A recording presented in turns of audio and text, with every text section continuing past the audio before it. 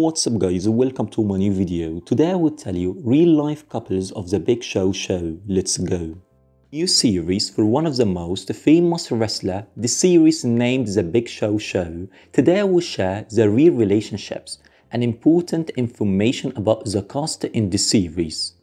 Paul Wight, also known as the Big Show, he's an American wrestler, now 48 years old and about his family. He had three children. Inside the series, he played the main role. In 2002, he married Bess Katramados. Till now, they're still together.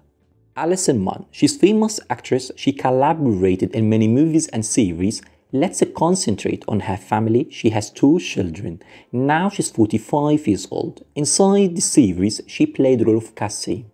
About her relationship, in 2007 she married famous actor named Scott Holroyd. In 2014 she appeared in TV series called Nicky Ricky Dicky and. Lily Brooks O'Briant, a young actress with a little bit of popularity, but now her popularity is still rising day after day. And about her boyfriend, now she's single.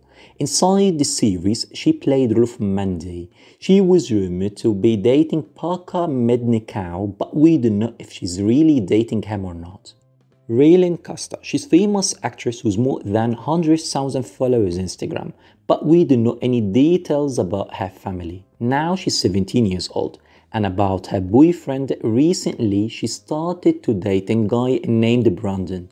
In 2017, she played role of Norway in TV series named Me, Myself and I.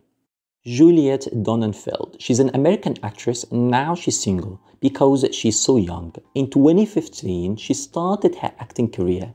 Now she's 10 years old. Inside the series, she played role of JJ. Thank you guys for watching a big guys. Do not forget to subscribe and follow me on social media, Twitter, Instagram, and see you guys tomorrow. Bye.